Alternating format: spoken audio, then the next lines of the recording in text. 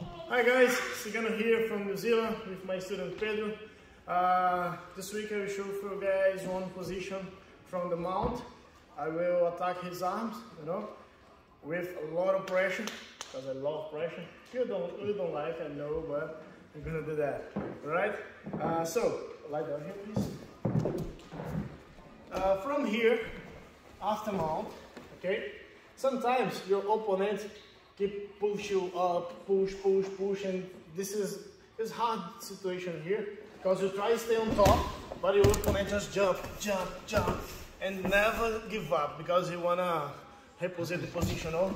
So when your opponent push your chest to front, this position here, I will use my legs to close his arms here, close his face, you know.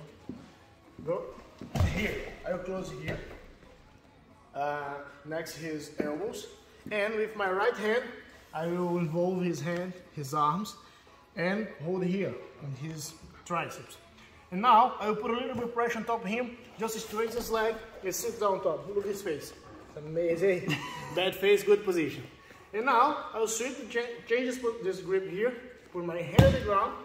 I will I will take off my bump on top of his chest and put my leg here and just move and pass this leg over. I can finish here to front or back. It's so strong position. Yeah. Yeah? okay, one more time. And here I'm passing one, down, front mount. The guy push, push, push. I will close here. With my, I need to squeeze my legs here. I don't need to use my hands. I squeeze my legs, involve his arms, put my feet the, over there and put this heavy here on top of his chest. Now, change the grip, put my hand on the ground, and I take off my bump on top of his chest and put my leg. Just pass my, my knee over. I can finish here because his arm is, is straight here. Just put up or just like that back.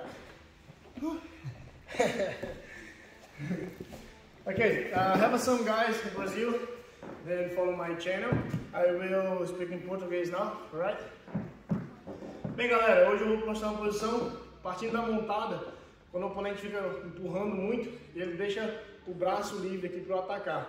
Então, o aluno Pedro vai me ajudar aqui. Tô na montada e o cara não para um minuto, toda hora aquela injeção de saco eu tenho que repor, e aí ele dá o vacilo de empurrar meu peito e me jogar para lá, deixando o braço dele vulnerável. Então eu vou usar isso por lá e vou fechar aqui em cima, apertando as minhas pernas, bem em cima aqui, para ele não tentar voltar os braços, não vai, tá fechado. Minha mão direita vai envolver os dois braços dele, pegando aqui no tríceps, perto do cotovelo. Eu vou esticar essa perna e sentar, colocando esse peso que a cara dele vai ficar linda agora. Dá um zoom aqui na cara dele. Tá boa, hein, Pedro? Então, agora eu vou trocar essa pegada e minha mão direita vai no chão. Minha bunda vai sair de cima dele e vai vir a perna em cima. Só para eu ter esse pequeno giro aqui. Ó. Tá ruim aí, Pedro? Eu já vou aliviar. Então, agora eu jogo o corpo para frente para passar meu joelho. Eu posso finalizar daqui. Se eu estico tudo aqui, já vai pegar. Mas a intenção é ir para trás. Então, fecha tudo. Sempre as pernas esticadas. Olha como é que tá a alavanca.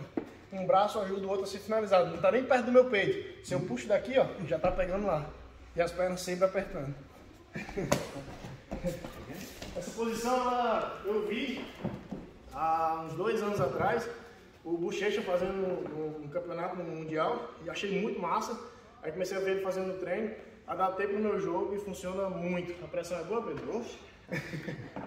então é isso, galera. Acompanha lá o canal, dá o joinha, compartilha o vídeo e vamos embora. Os!